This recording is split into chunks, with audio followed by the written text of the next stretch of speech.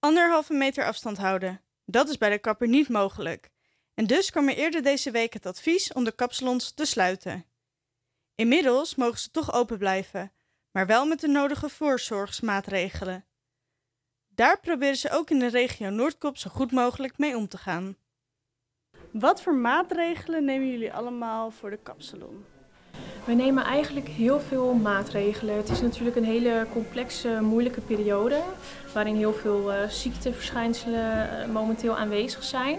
Dus wij vinden het echt van belang om continu alles te desinfecteren. Uh, alles te behandelen met Dettol. Continu handen wassen. Geen handen meer schudden. Nou ja, eigenlijk wat volgens de richtlijnen wordt aangegeven van het RIVM. En daar houden we ons echt uh, zo goed mogelijk aan. Nou, wij zorgen dat we afstand houden van de klanten, vooral achter een klant blijven. Hè, omdat als klanten zouden hoesten of zo, dat zou vervelend zijn of wij naar een klant toe. Uh, we hebben maatregelen zoals je kunt zien, uh, je binnen bent gekomen aan de deur. Dat we mensen die zelf al wat ziekteverschijnselen hebben mijden. We heten iedereen van harte welkom. Maar ze moeten wel zeg maar, zelf eigenlijk gezond zijn. Verder, uh, alle klanten die geweest zijn, dan maken we de spulletjes netjes schoon, die desinfecteren we. We pakken weer een nieuw kapkleedje, dat gaat in de wasmachine, dus alles wordt weer netjes schoongemaakt. Schone nieuwe handdoekjes. We ontsmetten de pinautomaat, uh, alles wat een beetje aangeraakt is ontsmetten. Alle boekjes op tafel, die halen we zeg maar weg, omdat mensen met hun handen overal aangezitten. Dat proberen we te voorkomen.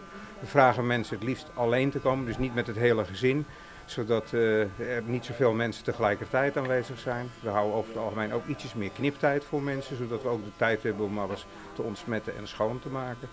Eigenlijk de richtlijnen van de ANCO, daar, dat, daar houden we ons aan. En ik zie dat jullie mondkapjes dragen. Heeft iedereen die hier ook? Ja, we geven iedereen de optie om dat inderdaad te dragen. De een vindt het wel fijn, de ander vindt het niet fijn. Wij vinden het sowieso wel fijn omdat je echt wel heel dicht bij de klant bent. Dus dan hebben we toch het gevoel dat we extra beschermd zijn zeg maar, in deze periode. Hoe reageerden klanten op deze maatregelen? Ja, nou eigenlijk zijn ze heel erg positief. En ze snappen ook echt wel dat we zeggen van nou hè, als er veel uh, telefonisch contact wordt opgenomen, dat we zeggen nou sorry, u moet toch ietsjes later komen, want anders wordt het gewoon te druk. Dus uh, ja, op deze manier uh, zorgen we ervoor dat het echt handelbaar blijft. De meeste klanten begrijpen het. We hebben een enkele afmelding of een afzegging gehad. Maar als we het uitleggen aan klanten, uh, en dan ga ik ook een beetje uit van het verhaal van uh, onze premier, blijf rustig en kalm, zorg goed voor elkaar. En uiteindelijk zal iedereen waarschijnlijk dit virus gaan krijgen en moeten we met z'n allen groepsimmuniteit opbouwen. Ja, en als je alles sluit, gaat die groepsimmuniteit langzamer. Dat betekent dus dat de periode dat we dit met z'n allen een soort uh, de zaken stilleggen, langer gaat duren, waardoor er uiteindelijk veel meer ellende zou ontstaan. Dus ik ben echt voor het uh, beleid van meneer Rutte, voor onze zorg of onze premier moet ik zeggen, dat we met z'n allen nou ja, goed op elkaar passen en goed hygiënemaatregelen toepassen. En tot nu toe begrijpen de klanten dat uitstekend. En denkt u dat het RIVM met een ander besluit gaat komen dat de kapsalons dicht moeten? Ik zou het heel onverstandig vinden, omdat je dan, uh, kijk je kan alles op slot gaan doen. Ik zeg maar wat, Tessel doe je op slot.